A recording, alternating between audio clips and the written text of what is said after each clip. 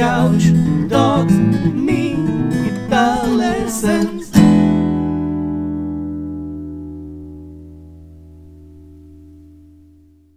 Hey there, LickNRiffers. Welcome to another edition of Fingerstyle Challenge of the Week. In this video, we're gonna wrap our hands around this nice little lick taken from Fleetwood Mac's Lindsey Buckingham's composition Big Love.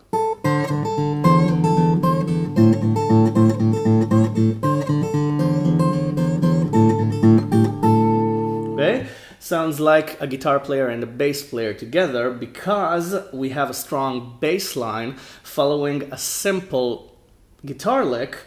Together, it makes for a very, very confusing and sometimes frustrating lick. Um, because it's gonna be frustrating to try to explain it as well, but I'm gonna do my best. Let's separate them.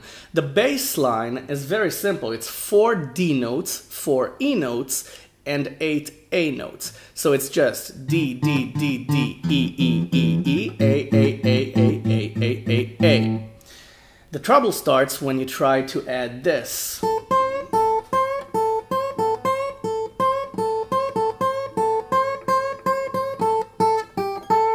Okay, I'm gonna play it again a bit slowly. I'm gonna play both of them.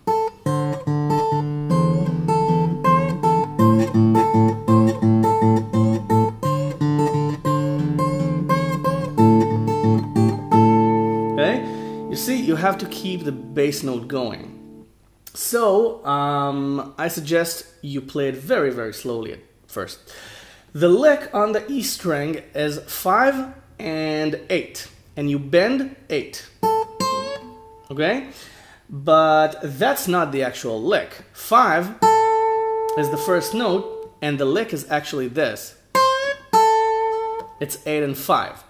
So that's the part that confuses most people because they treat it as 5 8 5 8, but it's not. It's 5 by itself and then 8 5 8 5 8 5. It sounds silly, but it makes a whole lot of difference when you try to approach this lick slowly because that's um, how you break down the lick in your head. So it's 5 alone and then Okay, it's not 5 8, it's 8 5. Remember that and you'll do fine. So try to listen to the rhythm 8 5, 8 5, 8 5, 8 5, 8 5, 8 5. It's da da da da da da da da da da da da. Okay? Once you get your head around that, try to add a bass note. One bass note. D. D. Okay? Try to add the D note.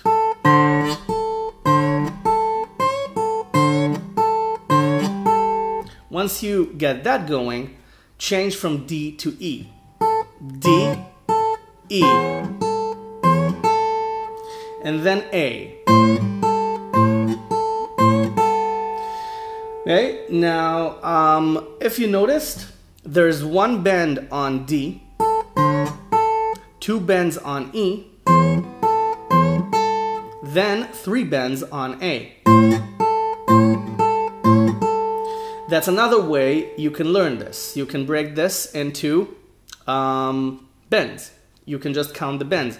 So one bend for D, two bends for E, three bends for A. Okay? Then the D line is the same. And then on E, you bend 8 um, four times. And then on A, you play 5 5 3 5. Right now, we're just adding bass notes to every note we play or to every bend. So D,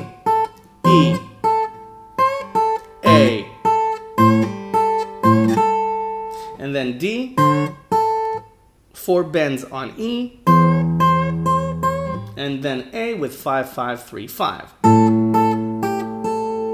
So let's play that.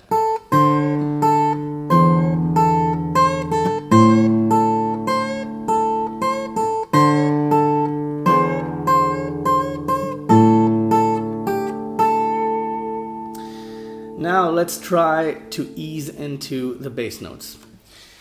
The way to do this, the most straightforward way to do this, and I'm not kidding, is to sing it. To sing it along with claps. The claps are the bass notes.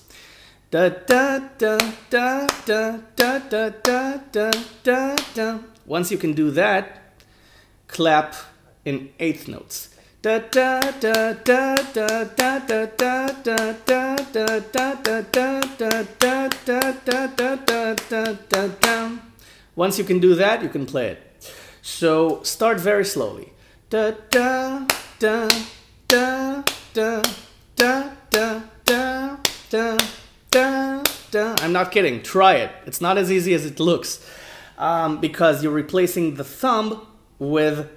claps and you're replacing the first string with your voice. It doesn't matter if you sing it correctly or not. You can just sing the rhythm. Da da da da da da da da da. Okay, as long as you da da da da da da da da da da. As long as you can wrap your head around both parts the eighth notes for the bass, um, the bass part and the lick itself, then you can approach the guitar with more confidence instead of just trying to um, approach the guitar and get all frustrated because you can't. Um, because you can't play it together. So then, after you wrap your head around the concept of how these two parts align, then you can try and play it very slowly. Try to listen to the bass notes and their alignment with the notes. Aligned, aligned, aligned. And then again, aligned, aligned. Okay, so you get alignment, disalignment, alignment, disalignment. And that way you just wrap your head around the concept.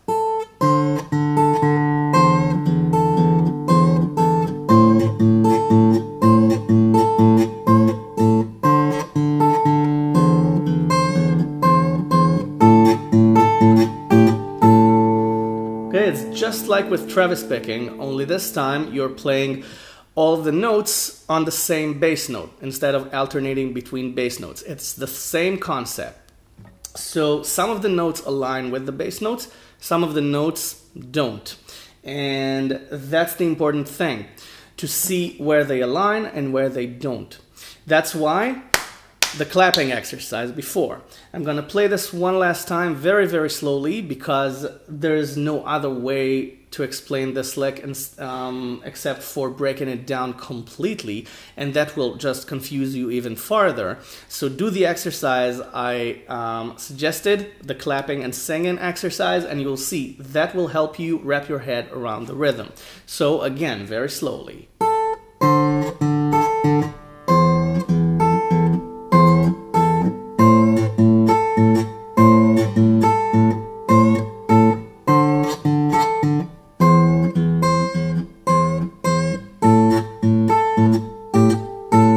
Actually, this is a lot more confusing than playing it in speed.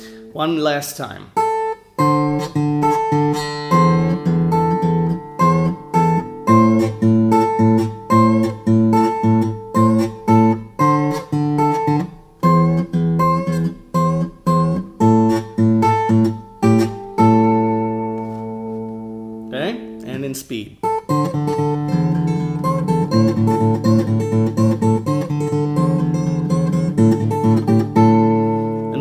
Practice this, please subscribe to my channel if you haven't already. There's a ton of lessons on the channel already for you to learn, and I upload a new one every couple of days or so.